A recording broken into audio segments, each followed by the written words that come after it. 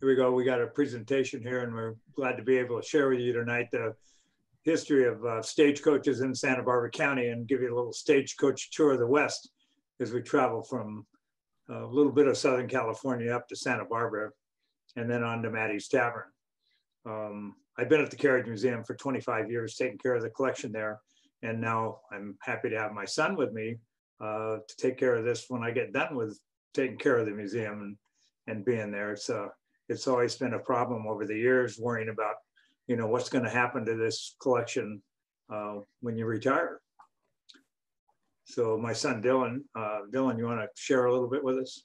Hey everybody, thanks for coming and listening to us. Uh, again, my name is Dylan Peterson. I work at the uh, university. I'm an academic coordinator. I run the uh, biology labs. And as you all know, we're online out there as well. And so I've been on the computer for the last eight months trying to do science. And I've also been enjoying the museum, doing a lot of stuff on the side, including this, uh, getting this presentation together. So I hope you all enjoy our Stagecoach Tour of the West. Yeah, we've done this uh, the, the stagecoach tour of the West several times at the museum for the Westerners and several different groups uh, before we came to the lockdown. Uh, we also started uh, doing a stagecoach tour of the West back in 2001. Uh, our first uh, person to do that for us was James Nottage. He was the curator of the Gene Autry Museum and came to Santa Barbara in 2001 and put together a stagecoach tour of the West. Since then, we had Doug Hansen, who is from Letcher, South Dakota, has done some restoration for us. Um, and then John Crockett, who was a curator of the uh, uh, San Ynez uh, Carriage Museum up there. So um, we have a little history in this. Uh, hopefully we have some information that you'll enjoy. Behind me is a picture of, uh, of uh, Joel Fithian driving a stagecoach that actually belonged to the, the um, Santa Barbara Historical Museum there, and we have it on loan from them. It was about 1930 in the Fiesta Parade in Santa Barbara. It's uh, interesting to see the people on the roof there. I don't think we could do that today. Uh, and the young fellow wearing a coat and tie riding a bicycle down the street, which is kind of neat. Bill, you want to share your photo there with us? Yeah, I have a picture of the Arlington uh, Hotel that uh, was where the current Arlington Theater is. It's a uh, 90, uh, 90 room hotel. This picture is approximately 1888, 1889, and the hotel was built by uh, Colonel Hollister, among other uh, investors here in Santa Barbara at the time. Um, uh, one of the bigger names coming out of the uh, hotel at the time was Dixie Thompson, which we'll speak a little bit about later. And he's one of Santa Barbara's key players in the stagecoach days there yeah, Dixie Thompson was a, a, guy that ran the hotel for Colonel Hollister, and Colonel Hollister just told him, he said, give them what they want. And that's what Dixie Thompson did, and it became one of the finest hotels in Santa Barbara. Um, there's a long story about a saddle that he owned that was made by Loomis um, Saddle Company here in Santa Barbara that actually sold. Um, it was made in 1889 uh, and sold uh, a couple of years ago at an auction for $190,000. Uh, we didn't have $190,000 to buy it, so obviously we don't have that saddle today. But anyway, yeah, Dixie Thompson was a great guy, ran that hotel, and everybody wanted to stay there. So we'll get on to the stagecoach tour of the West here, and, and from for exactly 40 years, from 1861 to 1901, stagecoaches traveled uh, the roads of Santa Barbara County uh, through Gaviota and uh, through Lompoc and up to uh, Los Olivos and Los Alamos, and then on to San Francisco. Um, we have a slide.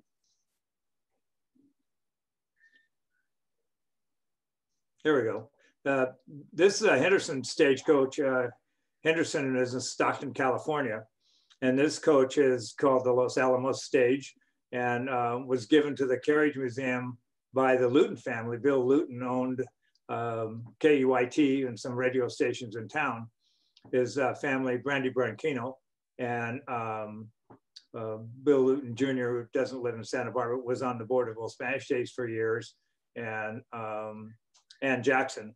Uh, anyway, so they this this stagecoach was used on uh, Rancheros Visitadores for years and had some restoration work done to it. But when we got it, it needed a full restoration, so we sent it up to Doug Hansen in Letcher, South Dakota, and we put quite a bit of money into it. But you can see today it's beautiful. It's a built in 18, I'm gonna say 1850, but Henderson didn't start till 1863, I think it was. So, but it's beautiful. It's on display at the Carriage Museum today. Dylan, you have some? No, uh, you covered all that one pretty yeah, good. Just jump uh, in when you when you think of something. Yeah, of course. Yeah. some, uh, some luggage on the top that we had added to the stagecoach, uh, and, and it's in the museum today. So we can go to the next slide. This here's a Saugus stage. Um, and that's also Henderson, and that was restored by Doug Hansen also.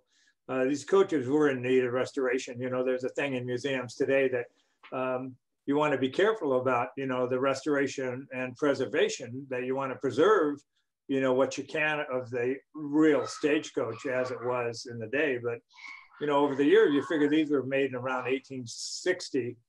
And, um, you know, a lot of things happened to them. They've been a lot of places. They've done a lot of different things. This stage went down to Saugus, picked up the mail.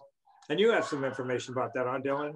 Yeah, we'll get to this when uh, a little Yeah. later in the talk when we head around uh, Rincon Corner. Yeah, as they waited for the, the, the tide to go down at the Rincon because the causeway wasn't built until about 1911, I think. Um, but they waited for the, the tide to go down. They beat it around the corner, went to Saugus, picked up the mail, and came back. And if uh, they didn't get stuck, then they didn't get robbed. Um, Exactly. but uh, you know, again, another stagecoach that's uh, you know on display at the Carriage Museum. What I really like about this stage is we kept the original U.S. mail panel. You can see right above the Santa Barbara to Saugus panel. That's the original paint and the original colors that the the, uh, the stagecoach originally was. Yeah, the first stagecoach was made in about 1760, and that was actually a covered wagon. And uh, then again in 1901, when the railroads came through, that the stagecoaches died. Um, the uh, picture behind me, that stagecoach that I talked about earlier, that's made by Abbott Downing. Abbott Downing was the premier stagecoach maker. Um, they were called Concord stagecoaches um, because they were made in Concord, New Hampshire. Um, the one behind me is a mud wagon, like the one that you see on the, the screen right now. And mud wagons were made for outlining areas like Santa Barbara. The roads were rougher. It was cheaper to make them. They were lighter. Uh, and there was a lot of big pluses to have a mud wagon rather than a full stagecoach uh, with the doors and the windows. Um, so in 1903, when the stagecoach, commercial stagecoach travel ended on San Marcos Pass in 1901, and Joel Fithian and this uh, fellow, Mr. Underhill, decided that they were going to give uh, people stagecoach rides up San Marcos Pass. And they had a building built and, and they could change horses when they got to the bottom of the pass and then go up to up San Marcos Pass. But it was a long travel, even during the commercial days from 1861 to 1901. San Marcos Pass was built in 1868. And so um, it was an eight hour trip from the Arlington Hotel or the, uh, the hotel on Haley and State where they originally started. Um, and it took eight hours to get up there. And you know, today people go, I don't want to go to this, it's a little far for me to drive. But anyway, it's just interesting today. Um, there were 130 probably Concord stagecoaches left today in existence. Ken Wheeling of the Carriage Association of America, I had a visit with him. He came out to Santa Barbara and viewed our collection years ago. And he says there's about 130 of them left today um, out of all those Concord stagecoaches that Abbott Downing made. He's, he's, he's seen 129 of them. The other two are in, in uh, I think he said 131, but anyway. Another slide.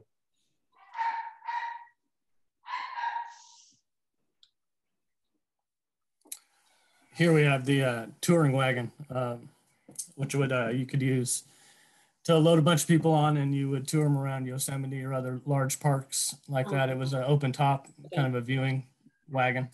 You can see here, this one was actually in Santa Barbara for a long time. It was owned by uh, Silsby Spalding, uh, the uh, Tecolote Ranch. And you can see on the left here is a slide of him getting ready to go through Fiesta, probably about 1930 or so. And he has a six up team, a couple guys on the saddles. That's probably him on the right with his parade saddles that we actually have on display at the museum that you guys can come see as well.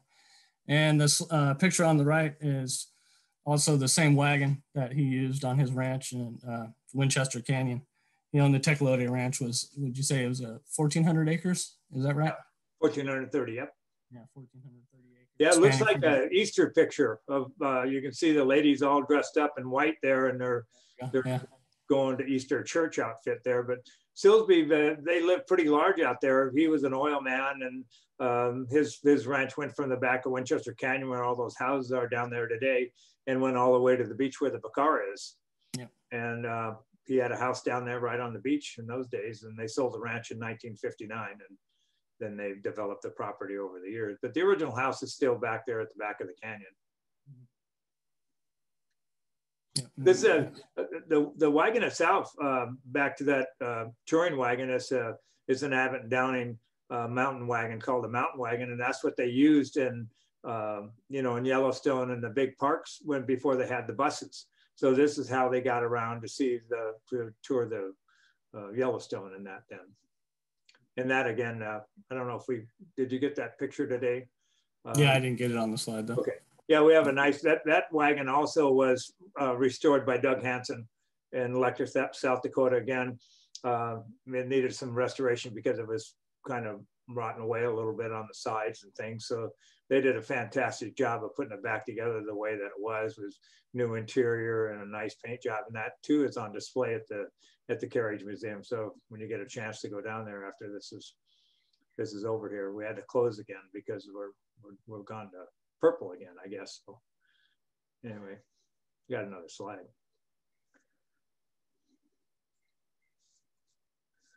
The uh, So you want to go with this one? go ahead. Uh, this is a, a picture of uh, some uh, Rancheros uh, Visitadores members doing a reenactment uh, crossing the San Ynez River. And this is this the Luton stagecoach here that they have? No, that, that's actually it's uh, it's a Henderson that we have in storage. It's not on display. It's Oh, okay. That's the one up in storage. They used it on Rancheros. Yeah. Gotcha. Yeah. So this was probably like 1960s, and uh, this is just a nice example of uh, some guys trying to reenact old old stagecoach days of the West. Uh, the young man on the horse that's about entering the river there is uh, Joe De Yong, and he's a, a fairly famous artist. He was a uh, apprentice to Charles Russell, and uh, we have some of his work in our uh, museum as well as the uh, Santa Barbara Historical Museum has many of his uh, actual paintings. I don't know if they're on display, but they do have some, and they're beautiful works of art. Yeah, Joe De Yong, all he wanted to do was be a cowboy all his life. He got meningitis when he was a young man. And uh, so he couldn't hear, but uh, you know, he became a, a, good Western artist. There's a lot of his work around Santa Barbara, and we have a diorama. It's called, uh, there's a stagecoach and six horses that he made for Silsby Spalding in 1932. And we have the original letter from Joe De Yong that he gave to Silsby Spalding uh, when he made the diorama. And it was on display at the Tecolote Ranch uh, and then went to their ranch in, uh, in Hope Ranch until 2011 when they donated it to the museum. Now it's on display. So this is the first time it's ever been where the public could see this. It took Joe De Yong 1,500 hours to build that stagecoach you see in the um, in the diorama. So when you see it, you it's, it's just unbelievable. It's very nice. He did a great job. Dylan's going to take us on a stagecoach tour of the West coming up here. So we get the next slide. Um,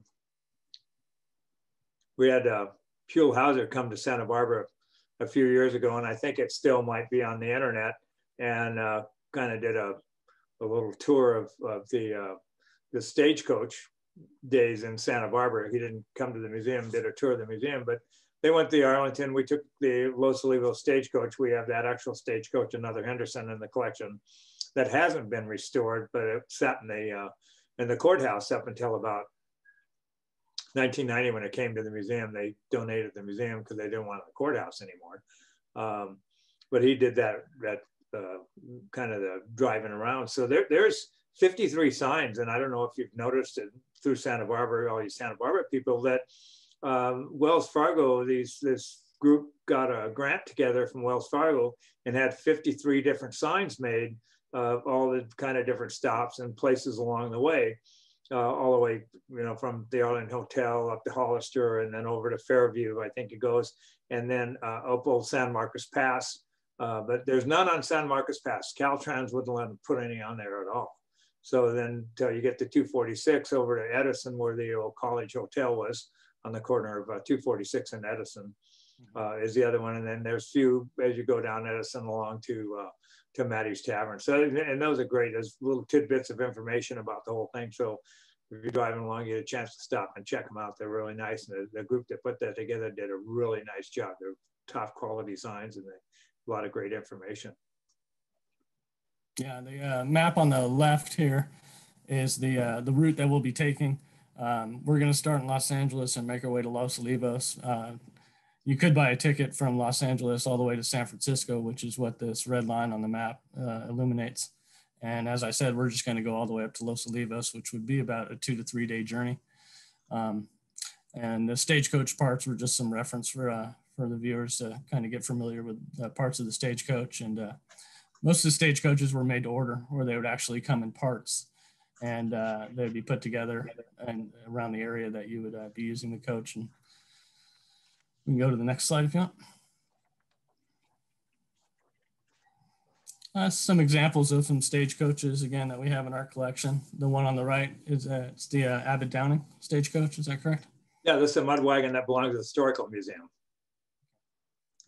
Yeah, so the type of Western stagecoaches you'd see would be the Concord stagecoach that we talked about, uh, and the Western mud, mud wagon. Uh, the Yosemite uh, type of wagon was also a Western mountain wagon that was considered a touring wagon. Yeah, and the one on the on the left there is uh, the Los Olivos coach that actually went from the island to Los Olivos, and it was made by Henderson. It's also a mud wagon too. Yep. Next slide. Uh, again, just some text to talk a little bit about the, the stage teams and the type of uh, type of teams you would have, and they were often referenced by the uh, number of horses you had, two up, four up, or six up team, pulling the stages depending on how much uh, uh, cargo you were carrying, how many passengers, the type of wagon. All of these were uh, these would dictate the how many horses you would have. Um, often you would have stops on these long journeys, about 10 to 20 miles apart, depending on the the type of terrain, but most of the time it was right around 15 miles before your horses would need to be either changed or rest, rested and watered. So go to the next slide. I'll talk a little bit about the uh, stagecoach drivers. Um, they were known as the Jehu. Is that correct? How do you pronounce that? Jihas. Jehus. Yeah, they were they were they, they were the stagecoach driver. This particular picture is this Selin Carrillo, and it's a, a great story. He was the last stagecoach driver to drive a stagecoach commercially on San Marcos Pass. Again, the state the mud wagon to the right of him is the one that uh, belongs to the historical museum, and I believe that picture was taken because uh, he died in 1957. So that was taken uh, had to been probably in the barn at uh, at Fithian's because uh, he worked for Joel Fithian. Joe Fithian wanted to teach him how to drive, and he said he didn't want to learn how to drive. He didn't want to drive horses is all he wanted to do. But um, the um, we have his whip um, that was given to us, and uh, one of his great grandsons called me one day, and he says, you know, he says. Uh, you know, I have a whip that belonged to one of the stagecoach drivers. I said, who is that? He says, Selin Carrillo. I says, oh yeah. I said, yeah, come on down. So he brought it down. He brought some spurs and stuff. We started walking around the museum, and I showed him our bit collection. He said, "Well, I think I have one of those bits." So he brought us a bit that belonged to the Selin Carrillo that he actually used. That belonged to that actually Mardueno made. Mardueno is a famous bit maker here in Santa Barbara County, and uh, it, was, it was quite a piece. Plus, the, the whip itself was really nice. It's a, a buckskin uh, lash on it, and they're 11 to 12 feet long, and then the the hickory stick on it's uh, uh, about five feet long, but it's the actual whip that he used when he drove a stagecoach back in, uh, you know, the 1800s. A, funny thing is that when I asked Robert that brought the, the whip to us, I said, you know, I said, uh, how long you had this stuff? He said, well, my great aunt gave it to me in 1989. And I'm going, wow, you know, that could have ended up at a garage sale. But we have it today. And we also have a whip that belonged to Ted Whitney, another famous stagecoach driver. So I believe Celine was one of the last drivers to go over the uh, over San Marcos Pass. If that was correct. Yeah. Okay. So here uh, we'll get into the actual tour of the West here. So um, this is actually a ticket that was issued in 1872 in Los Angeles to get to Santa Barbara on July 11th. And um, uh, looking at prices around then, they would charge you about 10 cents, around 10 cents a mile to get um, from point A to point B. And then, of course, you do the math to figure out how much you'd have to pay. Uh, it's about, would you say, about 90 miles, 100 miles up from Los Angeles to Santa Barbara. So that would cost you probably about 10 bucks or so to get from Los Angeles to Santa Barbara in the stage in around the 19 or the 1880s. Uh, this is a Flint and Bixby stagecoach line ticket. They're one of the uh, first um, stagecoach companies to actually come up over the uh, over the pass. And uh, uh, Mr. Bixby was essential in construction of San Marcos Pass, and we'll get to him in a little bit. So here we go. Um, so like I said, we're going to start the stagecoach journey in Los Angeles and end in Los Olivos. The journey will take us up the old Kings Highway, the old Kings Highway, also known as the El Camino Real. And uh, again, it's highlighted in red here on the left in this picture. Um, this would take a several day journey with many, many stops along the way um, with overnight rests and trading out many horses throughout the journey. Yeah, it was back in, uh, you know, from St. Louis to San Francisco, it was 25 days to make that trip and it was a couple hundred dollars. So mm-hmm. it's a short trip here from LA to San Francisco. How many days was that? Do you remember? Uh, from uh, LA to San Francisco. Yeah. I couldn't say offhand. I know it's about three days from Santa Barbara, from uh, LA to Los Olivos. Yeah. I would say it's at least a week that you're on yeah. this journey. And here we go. Uh, so this again, uh, just some slides talking about the El Camino Real, the Butterfield Overland Stage Route which was established in 1858 uh, as a contract to a guy by the name of uh, James Thompson. And he was contracted by the Army to build a new road that would uh, bypass Gaviota. So that would come up from Los Angeles to Los Olivos, uh, going through Santa Barbara and San Ynez. And that road was started in 1858 and it was completed in 1862 and the uh, butterfield mail company was the first uh, first company to use what were called the good roads uh, to deliver mail transport passengers but many other stage lines used it like the uh, uh, the old coast stage line that was owned by uh, llewellyn bixby and here this is the Bella Union Hotel, which was the the first stop, or it's not the first stop. This is where you'd be uh, picked up in the 1870s. Um, this was in LA on Main Street. And like I said, the Bella Union Hotel, it was owned by the mayor of the town and he sold it in 1856. And then it was, um, a second story was built and it had a very fine dining restaurant. So you could stay the night there, have dinner, wake up in the morning and head on out up to San Francisco if you needed to go that far. But like I said, today we're just going to head all the way up to Santa Barbara. And so, uh, go to the next slide. So this would be our first stop, which is uh, Rancho El Encino, which is in the San Fernando Valley. So leaving uh, leaving the uh, the Bella Union Hotel, this is about 21 miles north of, uh, of Los Angeles. It's a 2,400 acre ranch that was owned by uh, Vincent de la Osa and it was open to the public as a way station in 1860s for passing stages. This, like I said, would be the first place you would stop. You wouldn't actually spend the night here as it was only probably about three or four hours outside of LA by stage. Um, you'd stop here to rest, you'd water the horses and just really take a nice rest and get ready for the next four or five hours of journey. Uh, you can see in the slide here, the um, that street right in front of them is actually Ventura Boulevard, which is still around today. Okay, here um, after leaving the El Encino, your next stop would be uh, uh, was through the Conejo Stage Road, and this led up through the San, uh, San Fernando Valley, following the old Kings Highway, the old Camino Real, and uh, passing through ranch after ranch. There's just free roaming cattle everywhere because there was no fencing at the time. Barbed wire wasn't invented until 1867, but it wasn't readily available until probably the turn of the century. So you'd have free roaming cattle all throughout these nice pasture lands in the uh, San Fernando Valley. You can see the uh, Mission uh, San Fernando here on the right. Um, our next stop is in Calabasas. Uh, here we have the actual Calabasas post and, uh, and, uh, and store that was um, used by the stage stagecoach passengers and drivers. Here, um, Calabasas is a cool little story. They uh, uh, roughly translated in Chumash, it means Valley of the Wild Pumpkin. Um, in 1824, they say a carriage carrying a bunch of pumpkins toppled over. Many of them broke open. Seeds were strewn about, and the next year there was wild pumpkin patches all around, or known as Los Calabasas.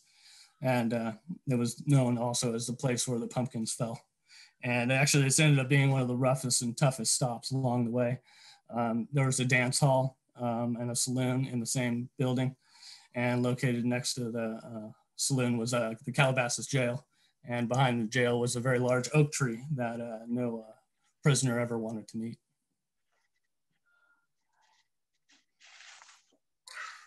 Okay, so here's the uh, Stagecoach Inn. The Stagecoach Inn um, is our next stop, and that's in Newbury Park. It was originally the Grand Union Hotel, and it was a first-class establishment which provided uh, fine accommodations, along with fishing, shooting, and uh, most of all, bathing. Uh, the hotel changed many hands throughout the years, and it was even moved once to build the uh, to build the freeway. And after it was moved uh, to build the freeway, it was renamed the Stagecoach Inn. The building actually still stands today, and it's a local museum, and it's uh, and it's uh, designated as a California Historical Landmark 659. And this would probably be the first place that they would actually spend the night at on their way up to Santa Barbara. They'd head out early the following morning. So here's uh, the Camarillo stage stop. And so this, of course, came after Newbury Park.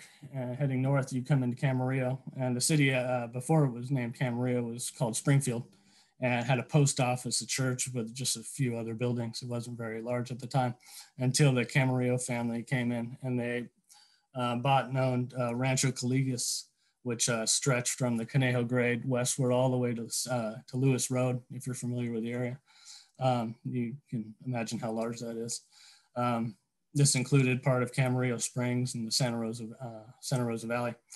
The family, they're farmers and they were integral in bringing uh, Camarillo to life. They, they, donated a lot of land to build schools and parks, and they also allowed the railroad to pass through their, uh, their property, uh, which actually led to the downfall of Springfield. Um, Adolfo was one of probably the most famous uh, uh, Camarillo fellows. Um, and he was well known for his Camarillo horses that we see in equestrian parades today and here in Santa Barbara. In the Fiesta, we've seen them many, many years. Uh, if you want to speak about the Camarillo horses at all. Yeah, he still uh, he still breed. Well, he doesn't, but uh, those horses are still around. They still come to the Fiesta parade from time to time. Uh, Adolfo did ride with the Rancheros Visitadores, and there's lots of pictures around him riding with uh, several of his white horses with him the Camarillo horses. And so heading north, uh, you'd, you'd uh, soon enter uh, San Buenaventura, as it was called at the time, which is now uh, just Ventura County. And this is where they had to transverse the Rincon Corner. And this was probably one of the most difficult and time consuming uh, stages of the trek north. Um, as we mentioned earlier here, they'd uh, have to use the beach to make their way to Carpinteria. The beach was covered with rocks and the tide was rough and the tide would come all the way up to the cliff. So drivers had to wait until the tide would drop and then they would try to hurry their way past this corner. Um, it was a well-known stop for bandits because you could even sit there for a few hours waiting for the tide to drop and you could be relieved of your jewelry and your money and maybe even the, uh, the Wells Fargo stage, uh, uh, stage safe box. Um, like I said, or like my father mentioned earlier, the uh, Saugus stagecoach, which we have was uh, used often and traveled this route in the uh, 1870s. Uh, if you want to mention anything about Cam uh, Rincon Corner. Yeah, that's it. You know, they talk about the stagecoach robberies when we get to um, when we get to Hobo Rock and Slippery Rock. a lot more information about that there. So after uh, Casitas Pass was developed and opened in about 1878, the Rincon route was largely abandoned. Uh, to the delight of Wells Fargo, but to the uh, aggregation or the uh, aggravation of, uh, of the bandits. Um, stagecoach drivers um, had a lot easier way coming around the uh, Casitas Pass than they would uh, Rincon Corner. It was a causeway that was built, which was essentially just uh, several piers that were put together over sand and earth. And the trip from Carpinteria came through Summerland over Ortega Hill and through Montecito, and it ended up around the bird refuge uh, Cabrillo Boulevard. They would head upstate and then head their way over to the Arlington Hotel. Um, uh, before getting to the Arlington Hotel, they could stop at the Shepherd Inn. Uh, it was a uh, James Shepherd, he owned a large ranch in Carpinteria, and when the new route was made, it passed just about 200 feet from his property line. So he took advantage of that new route that, uh, that these uh, stage uh, travelers were traveling, and he would actually uh, cook a pit barbecue, and then it would turn in, and it turned into a fine dining establishment after a little while, and it was a, a destination for wealthy aristocrats at the time. Um, in the early part of the 20th century, there'd be a daily carriage ride from the Arlington or the Potter Hotel that would take you down to the Shepherd's Inn and get you either lunch or dinner. Yeah, Shepherd's Base is still there today, um, and still part of that family that that actually ran that Shepherd's Inn. There's still some shepherds that live up that way. Yeah, you have uh, big time celebrities like the Roosevelts and Vanderbilts would be uh, itching to get some pit barbecue while they're here in Santa Barbara. And so now we're going to kind of start in the Santa Barbara area. We're going to head our way up over the pass here. Uh, we're going to start at the Arlington Hotel. Uh, as I said, this would kind of be the beginning of the journey from Santa Barbara up to Los Olivos through San Ynez. Um, the hotel had become the unofficial center of Santa Barbara around the 1890s, uh, largely because of Colonel Hollister employing Dixie Thompson as the hotel manager at the time. His slogan was "Keep your uh, keep your customers happy or keep your customers comfortable, your guests comfortable. And that was his, uh, his big um, reason for success was he paid attention to the, uh, to the guests. And people know of Sam Stanwood, who was a county supervisor responsible for quite a few things that have happened in Santa Barbara. And uh, when uh, Sam Stanwood was 14 years old, he worked for Dixie Thompson and uh, had a ranch there up in Alamar and uh, had about 125 horses and was able to supply uh, Dixie Thompson and some of the people that came to Santa Barbara with horses and wagons and uh, things like that to go around town. Yeah, Stanwood uh, was the uh, El Presidente for, was it 40 years, I believe, for Fiesta? Yes. And um, he also was, you know, he was around at the turn of the century, so he saw automobiles come into play around the city and, you know, him being a a horse rider and a trail man, he realized that the trails could actually be turned into roads. And he was uh, one of our county uh, supervisors that suggested to start building roads here in town. And so he's largely responsible for, for a lot of uh, what we have here in town today. We actually have one of his saddles also at the uh, at the museum that you guys can come down and take yeah, a look belongs, at. belongs to the historical museum, uh, and we have it on loan. Uh, and it's a Visalia saddle, very nice Yeah, beautifully engraved, has his initials carved in the cantle in the back. It's really nice saddle. So next here uh, is another picture of the Arlington Hotel with a stagecoach ready to take off in the morning. Um, as we said, uh, Dixie was the main proprietor of the hotel in the 1880s, and you know he would make sure the guests were comfortable. As we said, he'd set these stagecoaches up and get them ready for the uh, travelers. After they spend the night, about 8 a.m., they'd come out front, there'd be a stagecoach waiting for them. They'd all jump on board and head on their way up to Los Olivos to eventually to Mattei's Tavern. Um, this slide is uh, the one we have behind Tom here. And this is also a, uh, no, you're right. Go forward. Next slide. Yeah, this is a Joel Fithian Abbott Downing stagecoach that uh, was used in Fiesta. We just wanted to show this slide because, you know, as we said, Santa Barbara, uh, State Street and the Arlington Hotel was really a main focus of the town, maybe even the town center, if you say.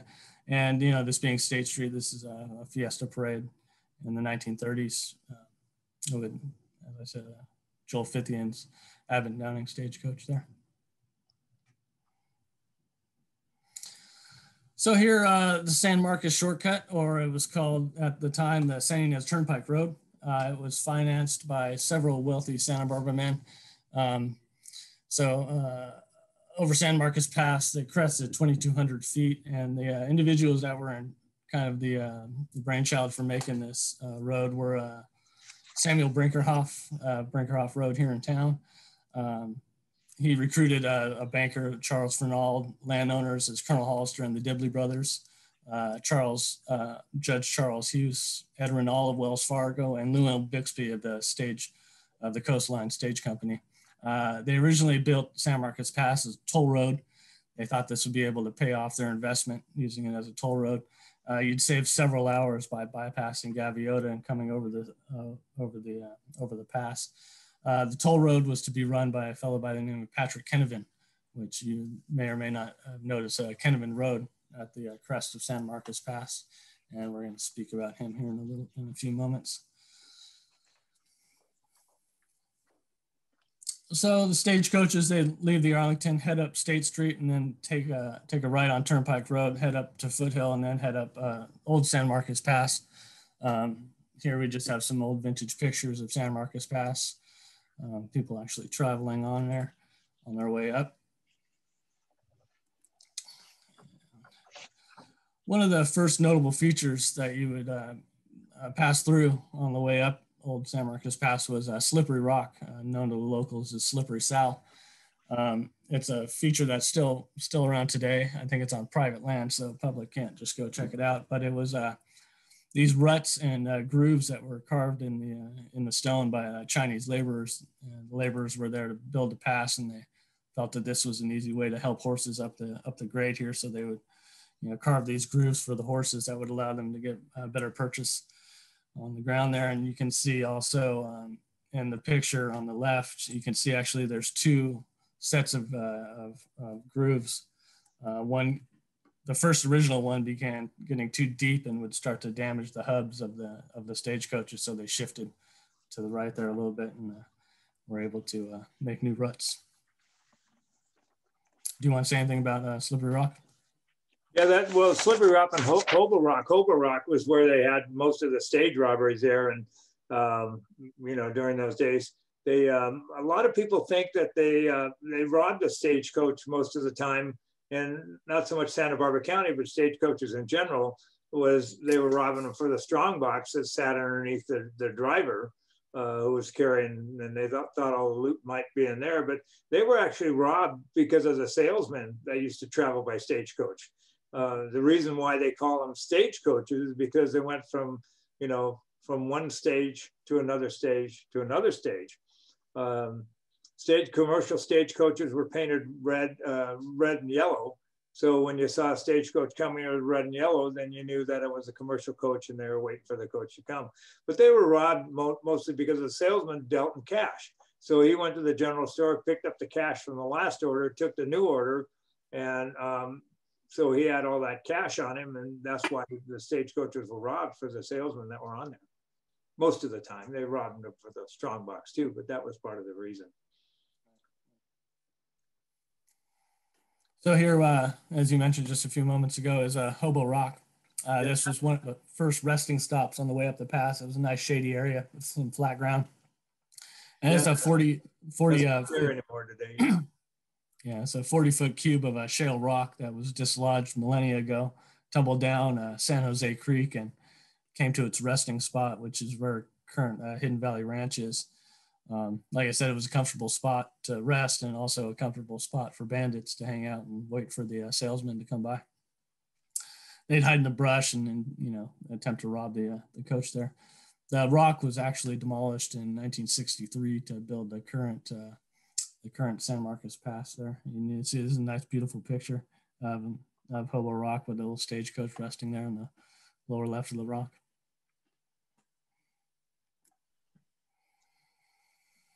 Uh, just a nice little picture of, uh, again, uh, some area between uh, Slippery Rock and Kinevan Road. uh, you transversing the pass, you would uh, come to several flat areas and it was hard on the horses, you know, coming up here. So they would often, you know, kick some of the guys off the stage and make, make them walk right next to it to, to alleviate some, some stress on the horses. And this would be one of those places that that would happen. Yeah, they were sit the the stages were built on uh, and the mud wagons were built on thorough braces. Thorough braces are strips of leather, so the the the stage body of the stage kind of sat in this little bucket effect. I think Mark Twain had mentioned one time that it was like riding in a bathtub because it rocks so much, you know. But mm-hmm. it was sitting there making the ride a lot smoother than it would have been sitting on springs. Right. You can head to the next slide. That uh yeah, the slippery rock, that's still there today. That's uh goes from the, uh, you can get to it from the top of, uh, well, you can't get to it, it's on private property today, but uh, there was a place called Windermere Ranch that had it years ago, and I was able to see that about 15 years ago. I actually got to see it, but yeah, I've yet to make my way up there. Yeah. So here we got uh, uh, Pat and Nora Kinevan um, at the summit of San Marcos Pass, which is about 2,200 feet up. We have uh, Kinevan Summit Station, which was run by Pat and Nora. Pat was uh, born in Ireland in 1834 and to escape uh, the life of a coal miner, he came to America, settled in Texas as a cowboy, driving longhorn cattle. Uh, he then joined the Union and fought in the Civil War as a cavalry lieutenant under uh, General uh, George Meade.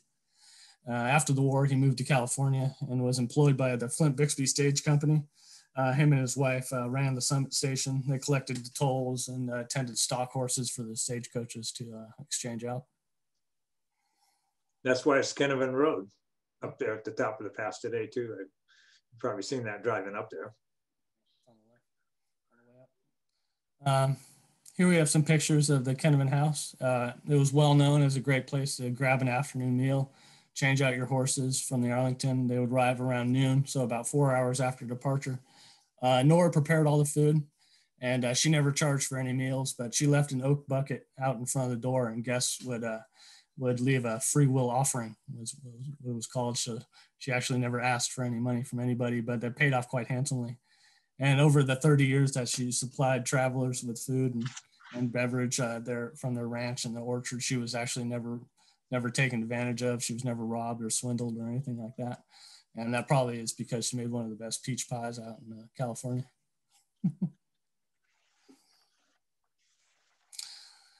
And so after uh, your rest at Kinevan, you'd have a nice meal. You'd start heading down the north side of the pass, and uh, your first stop again would be uh, to rest the horses at uh, Cold Spring. It was originally a crisp, cool spring that flowed uh, crystal clear out of the mountainside, and it was sluiced down into hollowed out logs so the horses could drink. Uh, again, it was about halfway down the north side of the pass, and it was a shady, pleasant place to to stop and have a have a rest as you can see, these uh, four individuals here sitting on the side of the spring here, um, they kind of reflect probably what it felt like riding on one of these wagons for days at an end. Probably had about 12 cents in their pocket and uh, just happy to stay warm. So the romanticism of the stagecoach days is probably a little, uh, little, uh, a little blown out of proportion. Yeah, it was a, you know, they say a romantic time to live in those days, but people don't realize how tough life was then. Uh, the driver of the stagecoach here was Ted Whitney's father. Ted Whitney drove stagecoaches uh, on San Marcos Pass also, and this is his father driving the stagecoach here.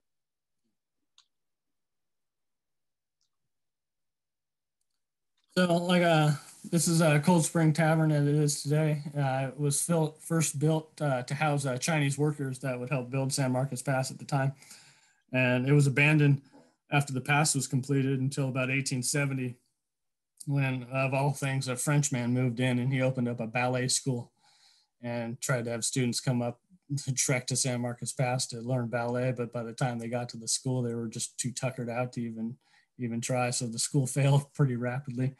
Uh, after it was closed, there was a, a, a, short time restaurant that opened that was called the Hermitage. Um, the owner was arrested for murdering his wife. The, the restaurant then closed until it was moved, and then a few decades later, uh, reopened as the, in the current location it is today as the uh, Cold Spring Tavern.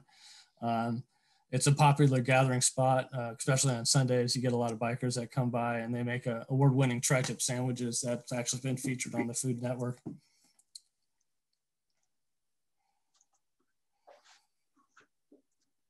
So uh, after leaving, uh, leaving uh, Cold Spring Tavern, you uh, head down the rest of the mountainside until you got to San Ynez River, and you cross the river into the sleepy little town of San Ynez, which was founded in 1888. The town had a minor bloom in the 18, uh, late 1800s, um, with the assumption that the railroad line was going to be built through there. Uh, that never happened, so the town kind of remains a small but popular town today. Yeah, this picture on the right, the, the, the follow-up picture of uh, that river crossing we just saw earlier with Joe De Yong in there, and the picture of the stagecoach that belonged to the uh, belongs to the Carriage Museum, but this again is a, a rancheros riding across they're the river here going up to their next stop. Uh, here's a small little picture of uh, San Ynez back in the uh, in the early days before it actually became anything significant. You can see uh, it almost looks like a little town out of uh, out of the third episode of Back to the Future, a classic Western town. We have a bunch of stagecoaches here, and you can see the amount of people piled on top of that one stage there. I don't know if that would be very safe to do nowadays, but uh, they give it a try back then, that's for sure.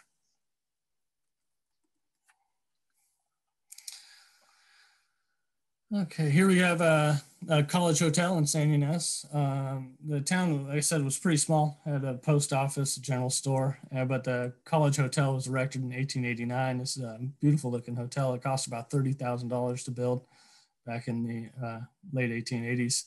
Um, it became a stagecoach, a stagecoach stop twice daily, once leaving San Ynez and once arriving. Uh, it's just a magnificent looking building for the time.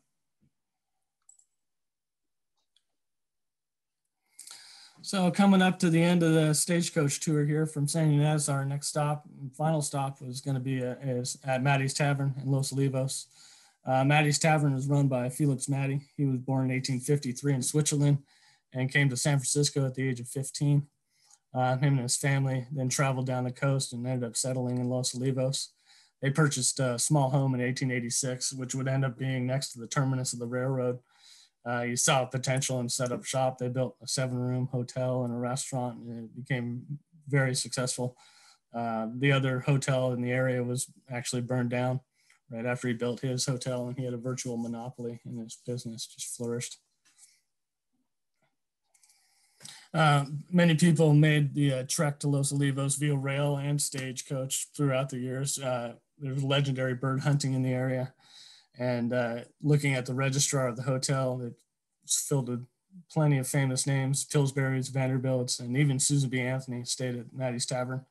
Um, apparently she was kind of a pill, is what I've been told. Uh, Los Olivos continued to prosper and eventually replaced the Gaviota Wharf as the shipping hub for the area. Uh, stages stopped running the pass in 1901, ending the romantic but not so comfortable days of the stagecoach travel. And that sums it up for our stagecoach tour of the West. We've headed all the way up from LA to uh, Los Olivos. Probably, would you say, about 120 miles or so over a period of about three days? Yeah, yeah for and, sure. And um, and probably a lot of a lot of sore sore rear ends after that. Yeah, they had a um, a list of uh, travel tips for passengers when you're riding on a stagecoach, and and they've been published around in different uh, Walker Tompkins book. Uh, that uh, available at the library. Uh, Stagecoach Days in Santa Barbara has a lot of interesting information if you're interested in. It's a paperback book, but it's it's got a lot of good information about Santa Barbara County and Stagecoach Days and and then Walker Tompkins. I don't know how many books that he wrote, but he wrote quite a bit about Santa Barbara, and uh, he donated all that stuff to the uh, to the library at UCSB. So Dylan was able to go over and get a lot of things that we have. We have a um, a display, an exhibit of, of sorts at the museum today called a Stagecoach Tour of the West that has a lot of the pictures that you see here today and more. And then of course you can see all the stagecoaches that we've restored that we have on display. That mountain wagon that was in that last picture there is, we're pretty, pretty much know that that probably belonged to the one that Silsby Spalding bought, not for sure. Uh, but uh, some of the travel tips they have that abstinent from liquor, uh, from liquor is preferred, but uh, if you have a bottle, pass it around and don't forget the driver. Um, you know, they talk about, uh, you know, not to sleep on your neighbors because it's rude. Um, but anyway, then those that's published also in that book too. But there's a lot more information on stagecoaches, but we wanted to give you a little tour that that we put together, and I think it's uh, some great information. There's some uh, if you have some questions, I think Michael is monitoring those questions and we'd sure like to hear from you if you have some questions. And uh, don't forget to come down and visit the museum. We're also grateful to the Santa Barbara Historical Museum. We have probably six or eight saddles, maybe nine, uh, that we've been able to borrow from the museum. Uh, some uh, belong to Dwight Murphy and some other prominent people in Santa Barbara. So we have a great relationship with them and, and we're happy to be able to do our little stagecoach tour of the West on your Zoom calendar. And we appreciate that.